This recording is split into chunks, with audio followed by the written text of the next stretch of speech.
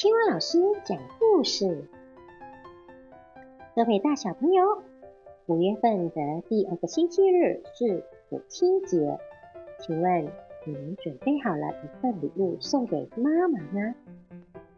你所预备的礼物是不是妈妈的最爱呢？今天要为各位大小朋友说的这一个故事，书名为《妈妈的最爱》。这是由文桥传播中心所出版的童书，作者是温少珍，由林诗晴绘图。让我们一起来听听故事吧。李妈妈有三个聪明伶俐的孩子：尖尖、慧慧和信信。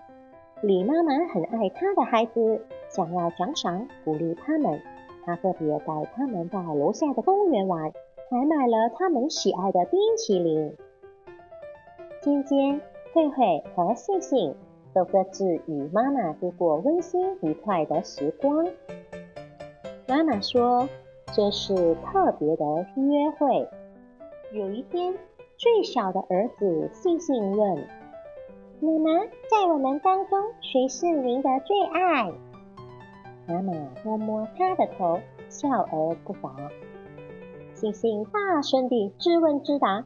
妈妈最爱的当然是我喽，因为妈妈说我真棒，还带我去公园玩，买冰淇淋给我。哥哥和姐姐都没份。听见弟弟的话，慧慧马上从房里冲出来，气得跺脚。才不是呢！妈妈最疼、最爱的当然是我，常独自带我到公园，让我很乖、勤奋上学，自动自发温习功课。你们知道自己很过分吗？竟然为这事大吵大闹！另一间房里的大哥忍不住了：“你们都不用争！妈妈曾说她最爱我，因为我常逗她开心，而且我是长子，有责任帮助她照顾弟妹。就是你们，是吗？妈妈最爱的是我吗？”三个孩子心里质问，已经不再那么肯定了。晚上，爸爸在客厅看报纸，三个小瓜不约而同地溜去找妈妈。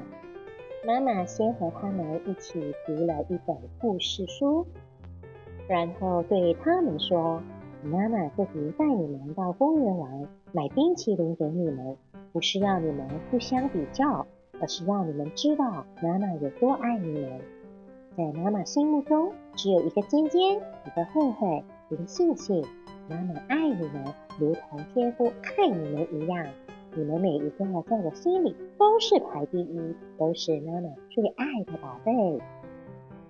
妈妈双手一伸，把三个孩子都一起揽入怀中，轻轻地问：“你们说，在我们一家五口当中，谁才是天父的最爱呢？”三个孩子不约而同地仰起头来，同声回答。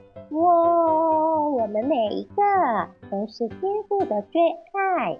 妈妈笑了，亲爱的妈妈，你也是我们的最爱。我们也要和你约会，十点钟在楼下的老地方见面，会有惊喜哦。今天慧慧信信，到底是什么惊喜等着妈妈呢？生日快乐！哇哦原来是妈妈的生日，小朋友，你们知道吗？每一个孩子都是上帝给予父母的产业，每一个孩子都是独一无二的，都是妈妈的宝贝，也是妈妈的最爱。